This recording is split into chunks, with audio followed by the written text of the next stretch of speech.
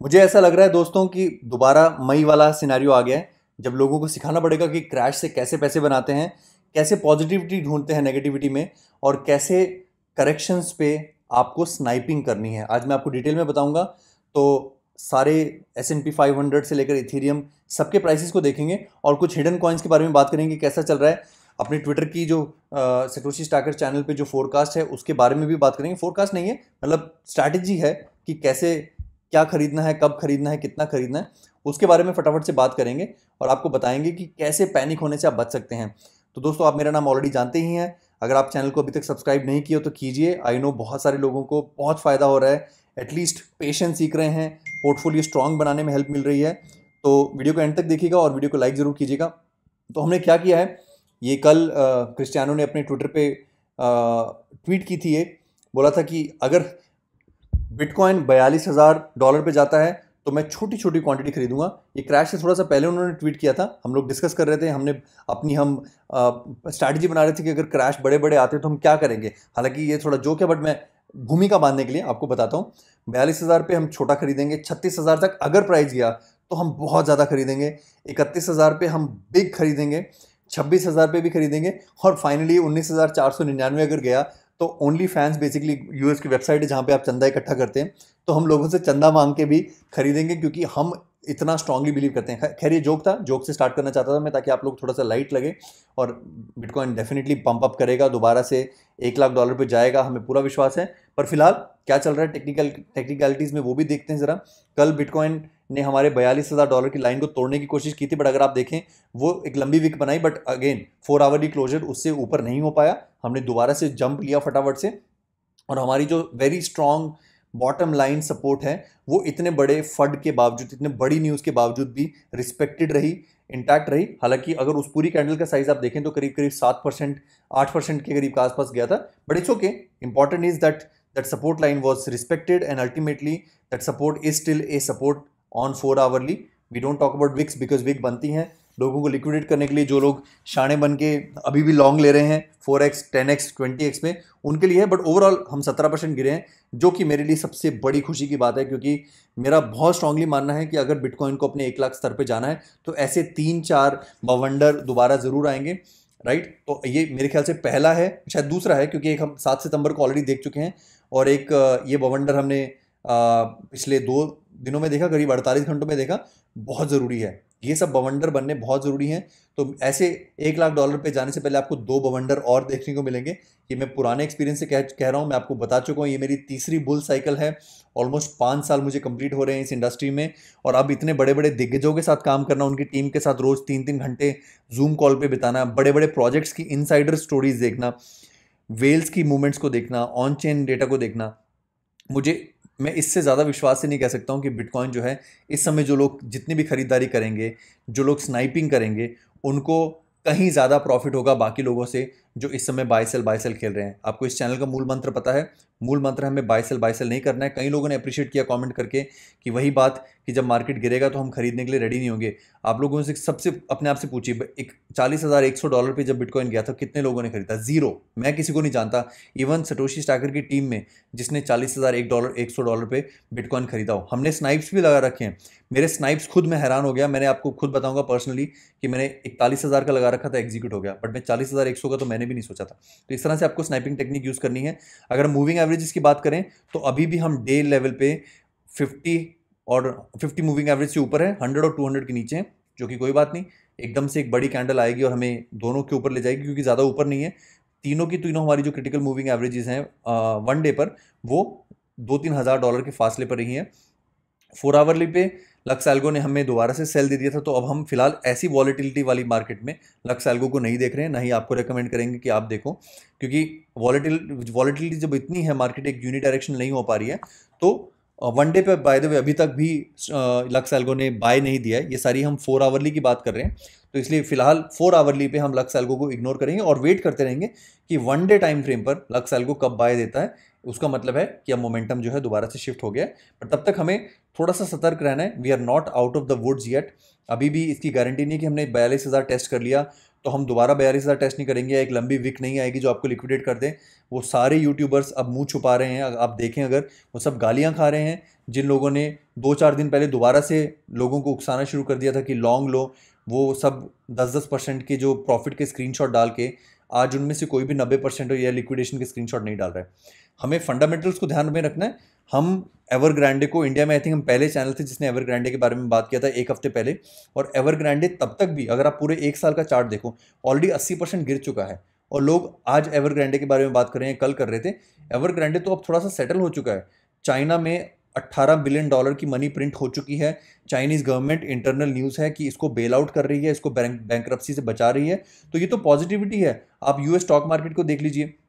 US stock market अपने बयालीस के सपोर्ट लेवल तक गई थी। मैंने आपको पहले भी काफ़ी टाइम पहले बोला था कि बयालीस डॉलर का लेवल जो है, वो सपोर्ट का है बट उसके ऊपर अच्छा खासा जंप लिया उसने। ऑलमोस्ट चार फोर आवरली कैंडल्स ग्रीन में क्लोज करी है। अच्छा खासा पंप है ऑलमोस्ट सात आठ परसेंट का इसने रिटर्न लिया है और अच्छे अच्छी बात मैं आपको एक बात बात बताऊँ दोस्तों, मैं आपको एक नया चार्ट दिखाता हूँ आज, बहुत ही मज़ेदार। वो है स्टॉक मार्केट के क्रैश के साथ स्टॉक मार्केट के क्रैश के साथ गोल्ड का क्या लेना देना है? हिस्टोरिकली जब भी स्टॉक मार्केट में क्रैश आए हैं गोल्ड के प्राइस को आप ऑब्ज़र्व कीजिए। ये गोल्ड का चार्ट है। हमेशा गोल्ड का चार्ट क्रैश वाले दिन एक्सपोनेंशियली ग्रो करता है। यहाँ पर सिर्फ़ गोल्ड एक परसेंट बढ़ा है। आपको खुद से मैं सजेस्ट करूँगा, आप गोल्ड स्पॉट सर्च कीजिए, सत्रह सौ डॉलर के करीब का भी प्राइस है।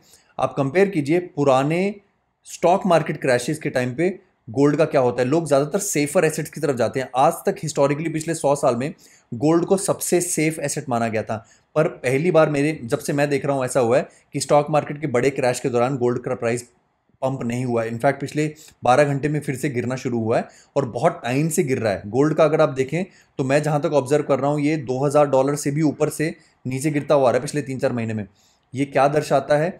ये मुझे ये दर्शाता है कि लोग गोल्ड को सेफ़ हेवन नहीं मान रहे हैं। गोल्ड जो करीब करीब चौदह पंद्रह ट्रिलियन डॉलर की मार्केट है, इस बार बिटकॉइन के क्रैश रिलेटिवली कम है और जितनी भी आप साइकिल्स देखें स्टॉक मार्केट के क्रैश के साथ बिटकॉइन का क्रैश ज़्यादा बड़ा आता है।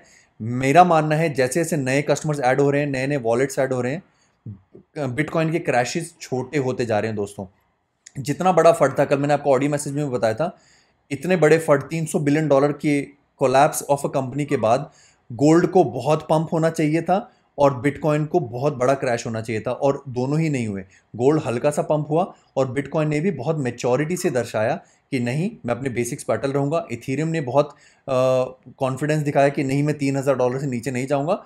ऑब्वियसली बियर्स धकेलने की कोशिश करते हैं बड़ी बड़ी विक बनाते हैं बट बयालीस हज़ार डॉलर ऑफ़ बिटकॉइन और तीन हज़ार dollar of Ethereum is well respected तो ये हमारे लिए क्या दिखाता है कि दोस्तों, अगर आप अभी इन्वेस्टेड हैं तो लॉन्ग टर्म में क्रिप्टो मार्केट में और ज़्यादा डिसिप्लिन और सोफिस्टिकेशन आएगी। तो थोड़ा सा शो ऑफ़ करते हैं हम। मैंने आपको बताया था दोस्तों रेनी कॉइन के बारे में। रेनी कॉइन को बड़ी इन्वेस्टमेंट मिली है। रेयर स्टोन कैपिटल ने रेनी कॉइन में इन्वेस्ट किया और आप जानते हैं, जब सोलाना में या एल्गोरैंड में वीसी इन्वेस्टमेंट आई थी, उसके बाद उन कॉइन्स का प्राइस अगले एक दो महीने तक कैसा जाता है? और इस चैनल पे हम आपको रेनी कॉइन के बारे में करीब चार पाँच हफ़्ते पहले बता चुके हैं। और रेनी कॉइन का price point zero zero something dollar था और ऑलमोस्ट जिन लोगों ने इन्वेस्ट किया है, कहने पे चाहे मैंने जैसे पाँच हज़ार लगाया था, मैं आपको हमेशा कहता हूँ, छोटी इन्वेस्टमेंट में रिस्क लें। उनके ऑलरेडी बारह चौदह एक्स हो चुके हैं। क्योंकि फंडामेंटली बहुत स्ट्रॉन्ग है कार्ड गेम में। इसके ऊपर हमने डेडिकेटेड वीडियोस करी हैं एन के बारे में। अच्छा कॉन्सेप्ट है। अच्छी लोअर मार्केट कैप है, केवल तीस मिलियन डॉलर की मार्केट कैप है, अच्छी मैनेजमेंट है और अब जब वीसी फंडिंग मिल चुकी है तो मुझे बहुत गर्व है इस बात पे कि मैंने इसमें पाँच हज़ार रुपये लगाए। ऑलरेडी सिक्सटी फाइव थाउज़ेंड हो चुके हैं। तो ये बहुत मेरे लिए गर्व की बात है कि मेरी एक छोटी इन्वेस्टमेंट इस शेकी मार्केट के दौरान मैं एटलीस्ट एक अच्छा कॉइन ढूंढ पाया था। हालाँकि मैंने ये नहीं मैं कहूँगा, मेरी हर इन्वेस्टमेंट अच्छी जाती है। मैंने इस तरह के छोटे छोटे तीन चार और कॉइन्स में लगाया जिससे मैं आपको शेयर करता रहता हूँ। किसी में दो एक्स है, किसी में वन पॉइंट फाइव एक्स है, एक में माइनस थर्टी परसेंट भी है। बट इस तरह से अगर हम एक एक हज़ार, पाँच पाँच हज़ार की अपनी कैपेसिटी के हिसाब से इन्वेस्ट करें और अगर एक चीज़ बारह एक्स हो जाए, जैसे मेरी रेनी कॉइन की इन्वेस्टमेंट बारह एक्स हो चुकी है और या आगे जाके उम्मीद है कि शायद सौ एक्स भी हो जाए तो आपको अच्छा एक मतलब रिस्क टू रिवॉर्ड मिलता है कि मेरे इतने बड़े पोर्टफोलियो में से मैंने हज़ार हज़ार, पाँच हज़ार के रिस्क लिए और उस पर अच्छा रिटर्न आ रहा है। तो अगर आपने रेनी कॉइन की हमारी वीडियोस नहीं देखी हैं तो चैनल में जाकर नीचे देख लीजिए। बहुत अच्छी अच्छी हमने वीडियोस पोस्ट की हैं। मैं आपको स्क्रीन पे भी दिखा देता हूँ। ये जो दो तीन वीडियोस हैं एनएफटी टॉप एनएफटी प्रोजेक्ट और ये सब, ये आप चेक कर सकते हैं रेनी कॉइन के बारे में और कॉमेंट करके बता सकते हैं कि आपको इस तरह के अगर और ऑल्ट कॉइन जेम्स के बारे में पता करना है तो वो भी आप बता सकते हैं। मैं आपसे दोस्तों सिर्फ़ एक सिंपल सा सवाल आज पूछना चाहता हूँ गिव अवे क्वेश्चन और इस बार हम सिर्फ़ एक विनर यूज़ चूज़ करेंगे और उसको छः हज़ार रुपये यानी कि करीब पचहत्तर डॉलर का इनाम देंगे। तो उस एक विनर के लिए आज का सवाल है, आपको उस कंपनी का नाम बताना है जो बैंक हो रही है चाइना में। सिर्फ़ उसका नाम लिखना है, वो मैं आपसे ये भी बताऊँगा कि मैं क्यों पूछ रहा हूँ, क्योंकि मैं देख रहा हूँ इंडिया में कई यूट्यूब चैनल उसका नाम तक गलत ले रहे हैं। गाइस एटलीस्ट अगर आप रिसर्च करते हो और अगर आप लेट होते हो एटलीस्ट आपको अपने दुश्मन का नाम तो सही से पता होना चाहिए ताकि आप न्यूज़ अलर्ट लगा लगा सको गूगल अलर्ट लगा सको आप आप ऑन द टॉप रह सको। क्योंकि रात को एक बजे शायद मैं आपको कॉल करके नहीं बताऊँगा या वीडियो बना के नहीं बताऊँगा कि आ, आ, कि इस कंपनी का प्राइस स्टॉक मार्केट नीचे जा रहा है। अगर आपके पास एप्पल स्टॉक्स हैं या अगर आपके पास कोई भी ऐप है, अगर आप खुद ट्रैक करना चाहें, अलर्ट लगाना चाहें तो आप खुद लगा सकते हैं। ट्रेडिंग व्यू पे आप अलर्ट लगा सकते हैं, ठीक है? मैं एवर ग्रांडे है नाम, ये भी बता देता हूँ। आप कमेंट कीजिए, आपको याद रहेगा, आप दूसरों की हेल्प करेंगे कि एवर ग्रांडे नाम की एक चाइनीज़ कंपनी है, जिसका इस पूरे से कुछ भी लेना देना नहीं है, बट सिर्फ़ ये फंड बनाया जा रहा है, जो कि फ्रड ख़त्म होने वाला है और हम आगे बढ़ेंगे। तो दोस्तों, सेफ़ इन्वेस्टमेंट कीजिए, स्नाइपिंग टेक्निक यूज़ कीजिए और क्रैशेस से पैसा बनाइए, सेल करके नहीं, बाय करके। ओके दोस्तों प्लीज़ किसी का ख्याल रखिए। आई नो आज आप लॉस में हैं आपको इतना प्रॉफिट नहीं है तो आज शायद आप किसी का आ, का फ़ायदा नहीं कर पाएँ। बट जब आपको प्रॉफिट हो किसी का फ़ायदा करो किसी की हेल्प करो किसी सिक्योरिटी गार्ड को खाना खिलाओ किसी जानवर को खाना खिलाओ स्टॉक बिटकॉइन एक लाख डॉलर पे लेके जाना वो मेरी जिम्मेवारी है। इस बुल मार्केट के अंदर मैं लेके जाऊँगा। आप बस जन कल्याण में काम कीजिए ऊपर वाला आपको दुआ देगा। धन्यवाद दोस्तों जय हिंद।